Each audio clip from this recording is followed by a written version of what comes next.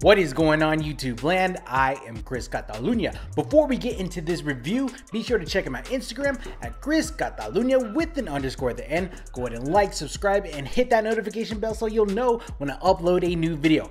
Fight the algorithm and help me get this channel to that 20,000 subscriber mark. I greatly appreciate it. Now, on to the shoe. Los Angeles based boutique Undefeated, they're not strangers to producing collaborative Nike dunks, having the Baroque biohack joints in 2005, the coveted splatter dunks from 2002, in which only 24 pairs were made, among other shoes. Now, present day, they revived the campaign themed Dunk vs Air Force One on June 2021, they released the Canteen Dunks and the Ballistic Olive Air Force Ones, going with a military issued theme. Two months later, we get a new Dunk vs Air Force One pack themed 5 on it. I love the name of it. If you're a millennial or older, you probably remember riding in the car in the 90s with your parents blasting Luniz's hits.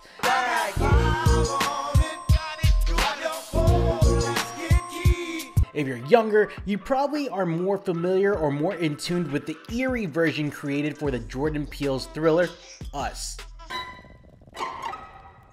It's us.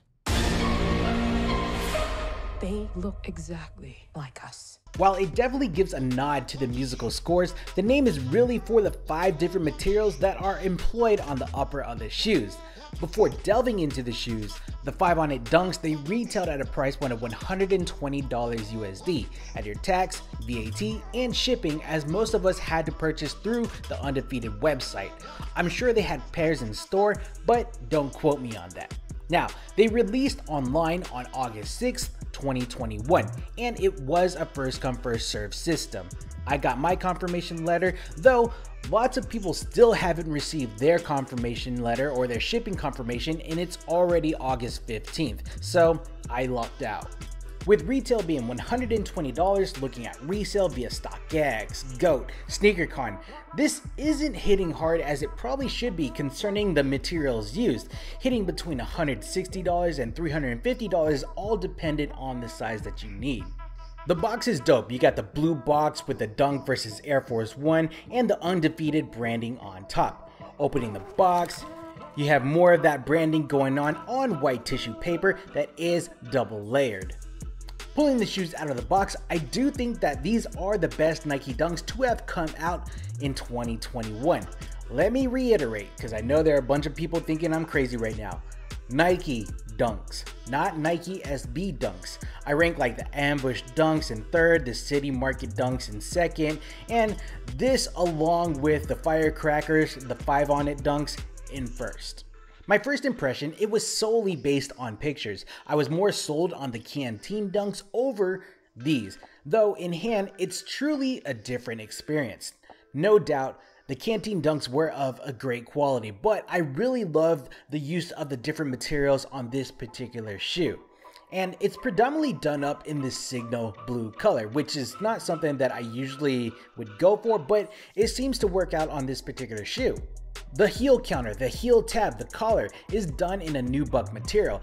Embroidered with white thread is the undefeated 5 strikes logo and then on the back of the heel tab is that Nike branding. The mudguard and the eye stays are of a faux snakeskin leather with some shiny bits to it and diamond shapes framing in the blue and black marbling going on. The vamp is of a smooth format leather with some plushness to it and perforated holes for breathability. Done in that night purple are the canvas quarter panels on both the lateral and the medial sides of the shoe, giving some contrast to the shoe. Also wrapping from side to side is the Nike swoosh that is employing that light gray hairy suede. Some of the particles from that hairy suede swoosh are falling off, but I don't mind because it kind of plays into that age look, which we'll talk about in a little bit.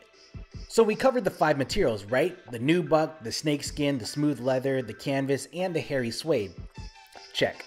Forward Ho, Nike did the good deed of supplying three sets of laces. All are of a cotton build and a flat shape. The default one was the blue ones that you see in this bag right here. I've already switched out the laces. The other two are secured in the right shoe in lock bags. Now, one is a white color and then the other one is an aged white one, which I'm actually not too much of a fan of. I liked aged laces, but the ones that they provide here look too new. Like the color is solid all the way through. I might just take these white ones right here, drop them in coffee or dirt to give them more of like a natural dirty look. Does that make sense? I hope that makes sense. Behind those sets of laces, we have the padded foam tongue, where the foam is actually exposed on the edges, which gives it a more classic shoe feel. The top is a full leather, and then the back side of the tongue is done in like this poly finish.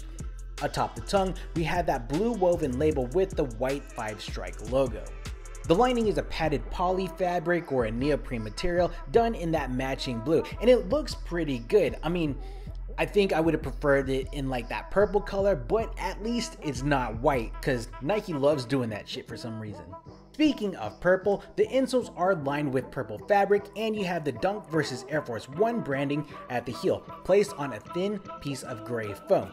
No support here and it offers very little in cushioning, though you can always replace these by bringing a blow dryer to it, you just pull it out and insert something that you like.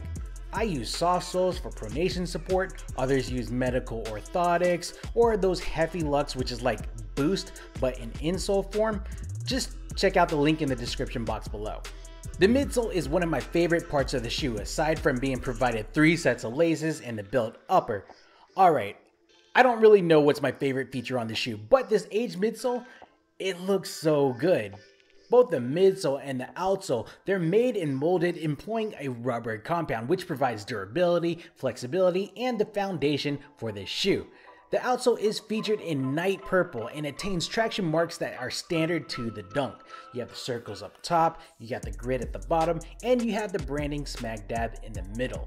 In terms of sizing, they fit true to size. If you don't know your size in Nike Dunks, definitely check out a mall retailer for some Jordan 1s, whether they're lows, mids, or highs, get sized up, and then pull the trigger on these 5 on it Dunks.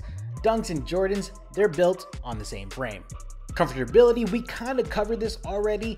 They're just okay. They're definitely not like SB Dunks where those have the Zoom Air insoles, but once again, you can always replace the stock insole.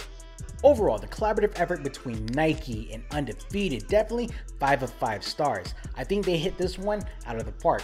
While blue isn't my favorite color, nor do I own too many items in blue, I think they knew the assignment, and I'm sure I would have loved these shoes in a different colorway. I'm not mad though. The five materials used on the shoe are on point, the leather, the snakeskin, the canvas, the hairy suede, the nubuck, the three sets of laces that we are provided, those are always going to be a plus to me. The blue box too is also refreshing. If you were able to get these at retail, congrats to you. If you weren't, they're still reasonably priced on the secondary market. Alright guys, I think this is a good stopping point for this video. What are your thoughts on the 5 on it pack? This Is a good drop, a bad drop? Do you prefer the Dunks or the Air Force Ones? Let me know your thoughts down in the comments below. Go ahead and check out my Instagram at Chris with the underscore the end. Go ahead and like, subscribe, and hit that notification bell so you'll know when I upload a new video. Fight the algorithm, and thanks for helping me get to 20k subscribers. Alright guys, I'm Chris Cataluna, and we will check you next time. Cheers! Sige na.